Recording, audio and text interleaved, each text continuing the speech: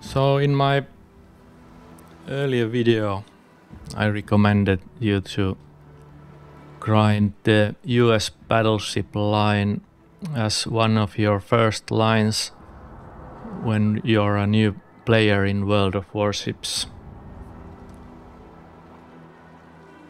And uh, another line that I suggested in that video was the Japanese battleship line, namely the Yamato line.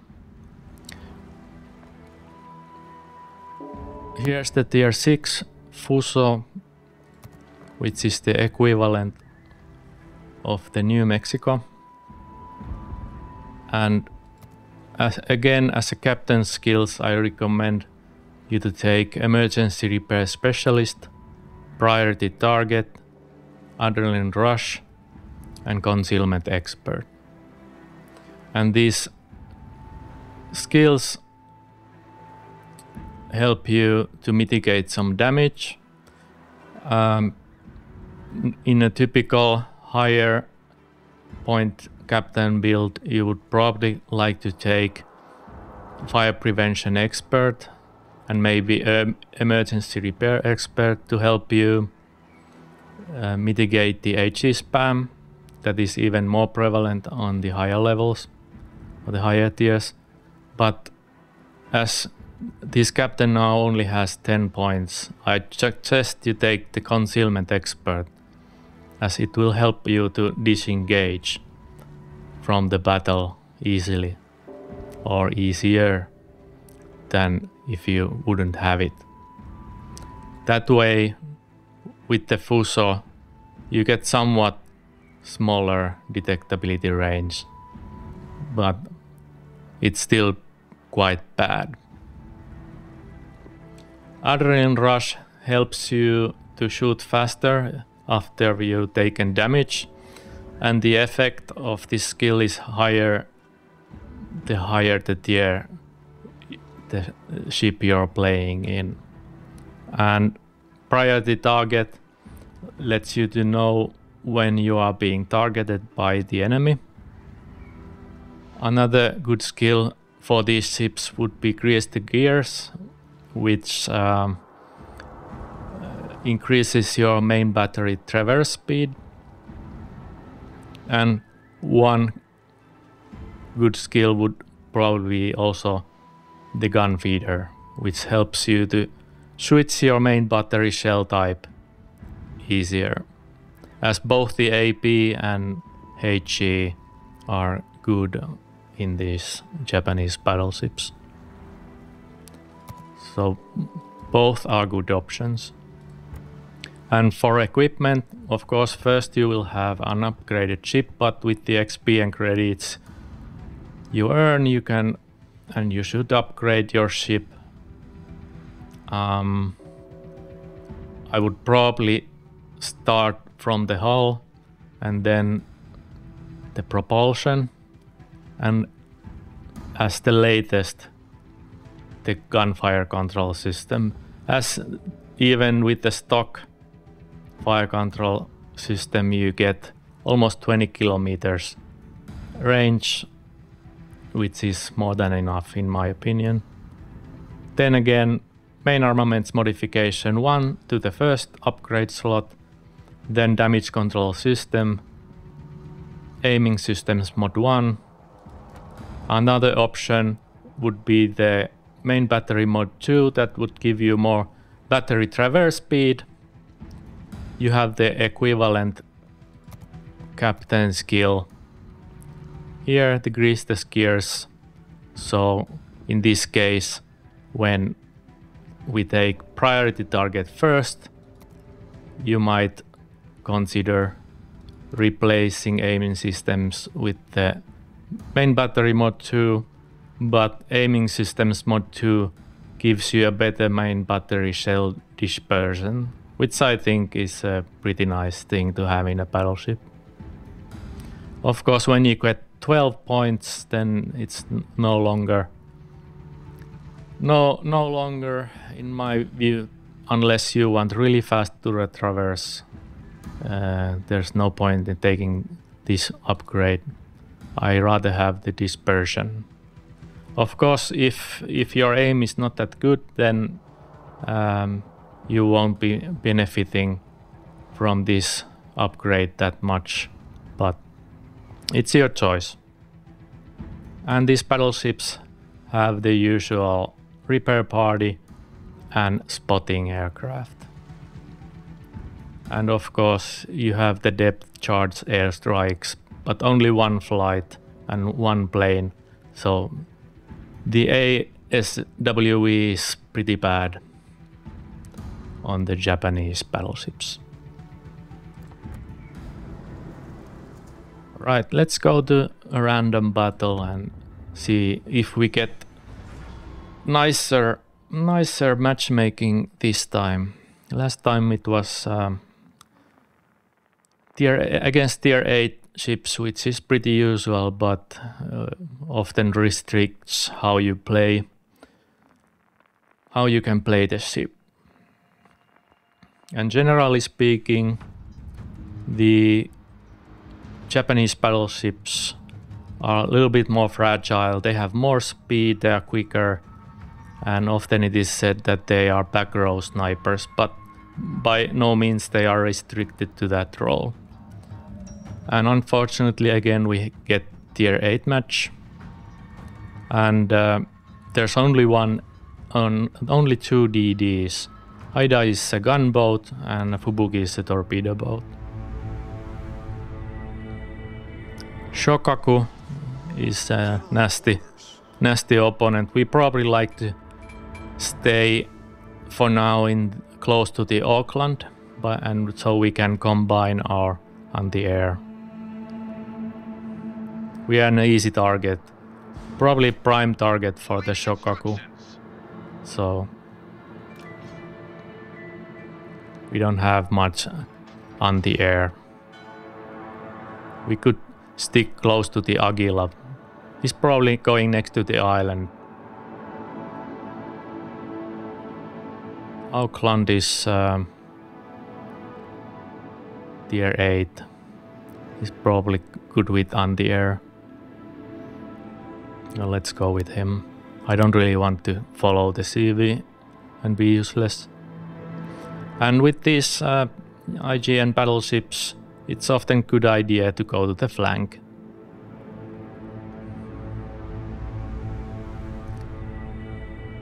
With the US battleships you had to stay more more closely to the center of the map because you were slow to relocate, but these are a bit faster. By modern, modern standards, these are not fast battleships, but but still faster than the US battleships. The enemy CV went to the other flank, so we can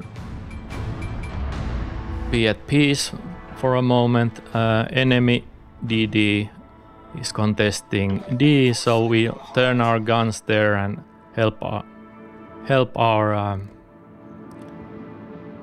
DD there. Okay, it's the Haida. Vauquelin isn't, is in trouble because Haida has a long-range hydro. We might have a dead DD here, unless Oakland is able to help him. I'm trying to keep the Weimar away from the cap.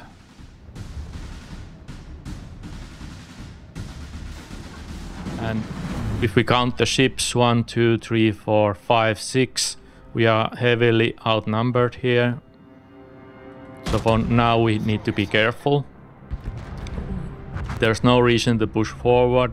We need to start turning around and start kiting away just to slow down these guys. And the Weimar seems to be better than the average player. He's throttle juking and ch or changing his speed. And Haida is pushing in his crawling smoke. We are dark, so let's turn our ship around and the guns, which are slow to turn,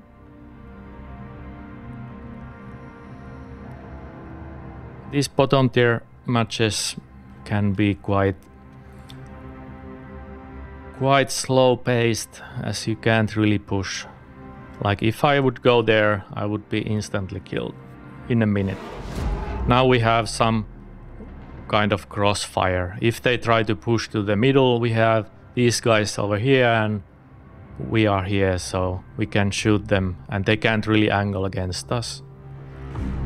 Haida doesn't have much of a torpedo power, so he's not that big of a threat. He'll probably uh, run out of his smoke soon.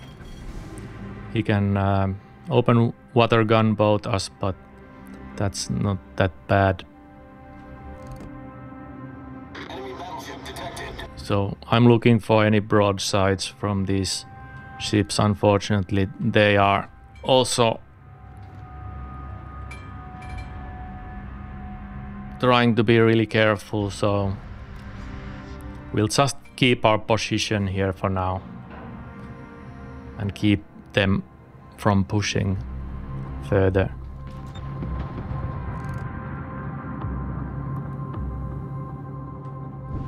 We are not in a position to push them.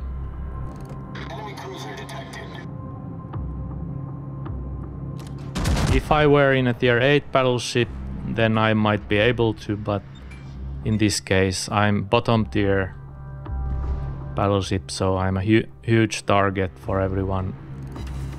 And I don't really have the armor to take on the enemy ships.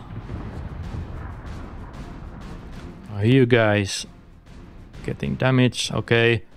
Seems like uh, Oakland has been spotted by the Haida.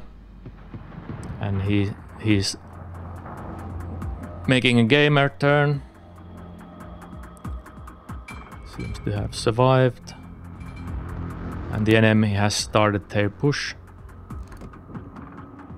Let's focus on the King George first. And because I'm here, they will need to push through the flank. If they come through the middle, I get their broadside. So this is the strategy behind my positioning.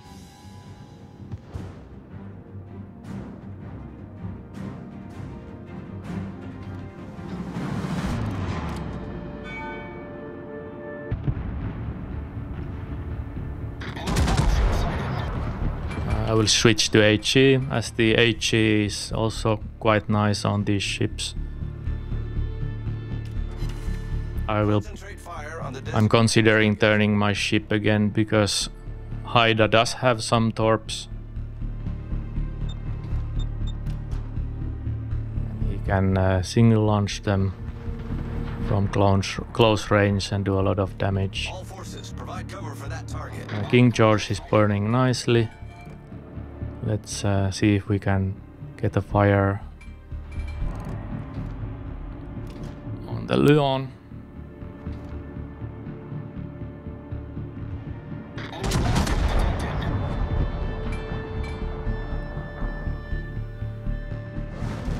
What you want to do is make small corrections to your speed and direction so that you're a bit unpre unpredictable for the enemy team.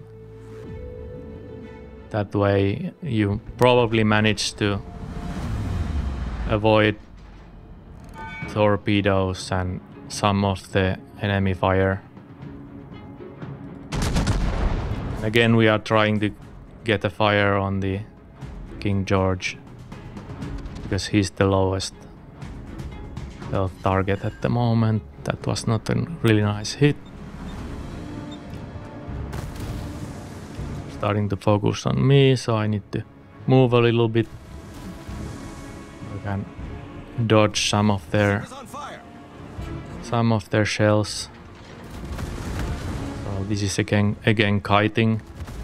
I'm in a kiting position, drawing them to the corner and prevent them from moving directly to the middle. As I only have one fire on me, I don't really need to I don't really need to use repair. My damage control party.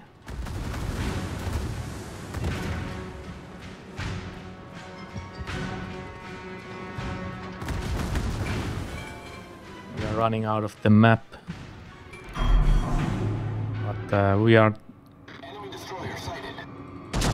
Lyon is dying to the fires, and here's the Hugo uh, hideout. Enemy battleship sunk. So this kind of bottom tier gameplay requires you to be patient.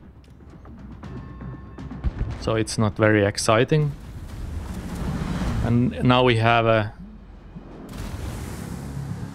now we have a ship pushing in the middle. We were a bit late with so now we switch to AP.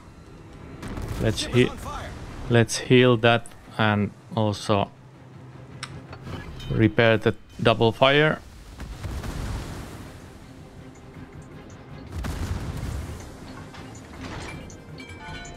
Problem solved, sir. And let's focus on the Weimar. Ship is on fire. Target penetrated. Got a nice citadel there. There's the map border. Fortunately, the King George is still there, so we can't really can't go dark and we can't turn freely.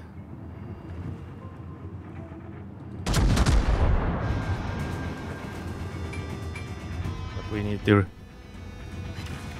keep the angle. Weimar can't really turn either. He need to show broad to the Oakland. If he wants to do that, okay. We are getting shot by the Scharnhorst.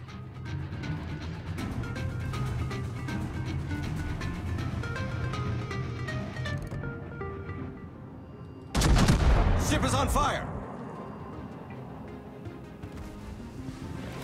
Need to repair.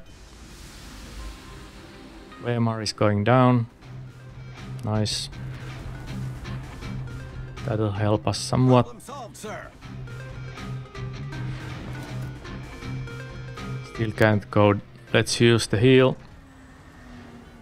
Still can't go undetected because of the King George, but he's showing us broadside, so. And he's also turning. Let's see if we can. If we can shoot the Harlem.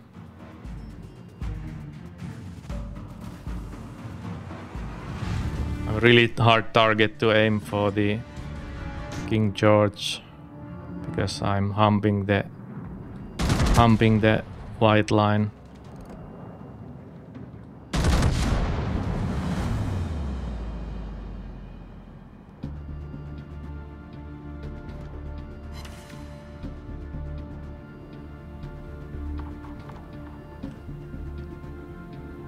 And again, by drawing the enemy and preventing them from moving to the middle, we are winning the game.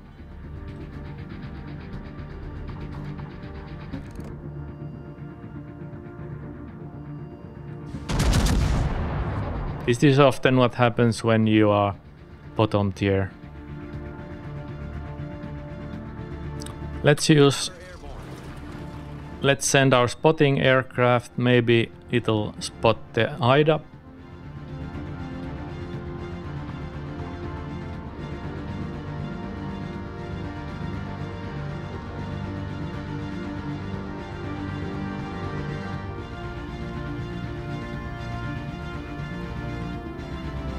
I have a feeling that when I turn, I will be get torped by the Ida. Because I'm so slow when doing it.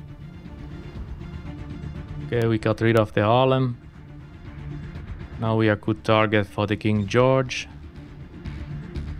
But I need to get Capture that area. get away from the border. Okay, Okay, that is the enemy aircraft carrier. King George is not interested of us anymore. Let's see if we can hit the CV. He's angling though.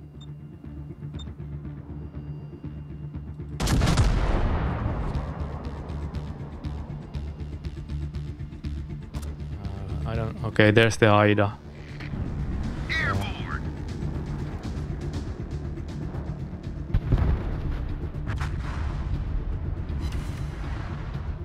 These torps are probably on the way. But we can go dark now, which is nice. Instructions. Torpedoes to starboard. Yeah, there's the torpedoes, but we are loose. We can. We are gonna take one, but that's not the big hopeful of problem. We're flooding quickly. Now I could switch to HE and push the Ida. But uh, Problem solved, sir. Oakland is already quite close to him.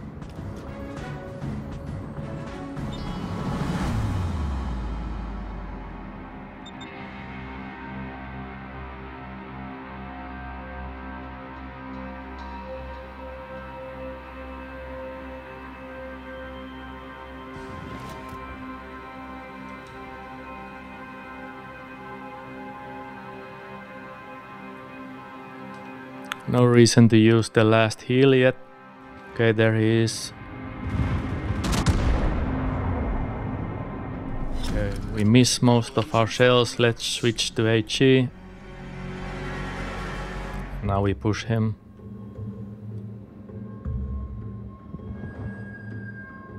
Let's use the heal. His torps might be up. Okay, he's dead. Seems like Oakland killed him. And now there's only King George and the Shokaku left. Shokaku is behind the island. Otherwise he would be spotted by now.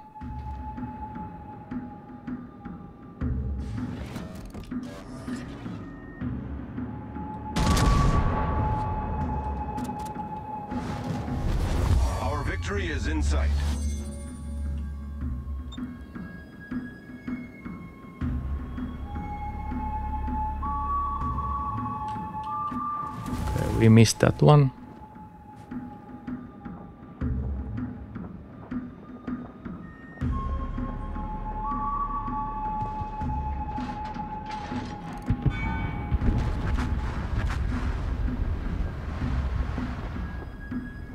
And now it's only the Shokaku. So again, like in the earlier YouTube video, uh, I was the underdog. I managed to rank, rack up almost 70k damage.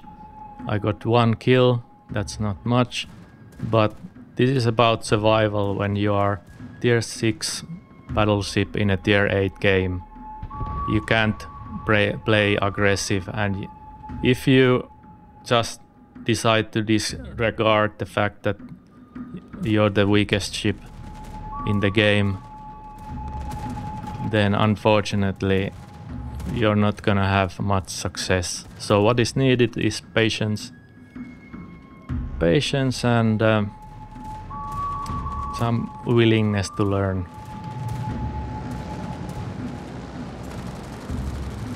But I'm not saying it's by no means easy. You need to go and see some YouTube videos and look for advice. There's my second kill of the game.